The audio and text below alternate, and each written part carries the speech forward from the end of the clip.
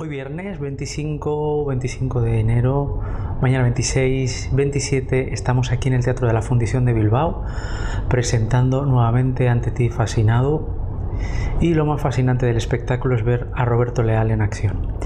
Porque mm, el trabajo que hicimos este es del 2008 pero yo creo que todavía sigue vivo muy vivo, porque en realidad la vida del espectáculo se la da este hombre, que es eh, pura magia en escena, es pura entrega.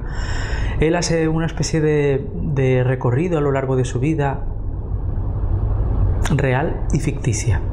De alguna manera, se mezclan las dos cosas. Entonces, eh, es un fantástico actor que se mueve en escena vivamente. y, y bueno, entre él y yo hacemos una especie de juego o de canto a la amistad eh, de Canto al Amor también, mezclado con ese anecdotario de su vida, que ya como he dicho es, muchas veces es cosas reales y otras veces pues no. Ah, es un espectáculo de danza a teatro, quizás la parte más seria o menos o más formal la llevo yo, ese es el peso de denso. Eh, pero toda la demás, esa carga de humor, esa carga de frescura, esa carga de, no sé, no sé cómo, cómo llamarlo, pero sí de entusiasmo, la, lleva él y un poco la, combinación, el trabajo de, los dos. Em, a destacar eh, de, de, la obra o el por qué venir a verla, primero porque sales con una sonrisa oreja a oreja, porque se te quitan muchas tonterías de la cabeza, yo soy el primero al que se le quitan, por la manera de contar y la manera de, exponer el trabajo. Eso no lo digo solo como una apreciación personal, sino bueno, el, espectáculo tiene ya un cierto recorrido, aunque llevábamos tiempo sin hacerlo, y estamos muy felices de que la fundición nos invitara a volver con el trabajo, presentarlo aquí, no solo por volver a la fundición, sino además por volver con este trabajo.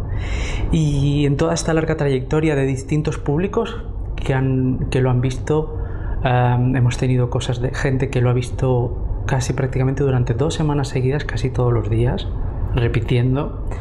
Eh, hemos estado en algunos lugares bastante... Esto no sé si se puede decir, pero yo lo voy a decir.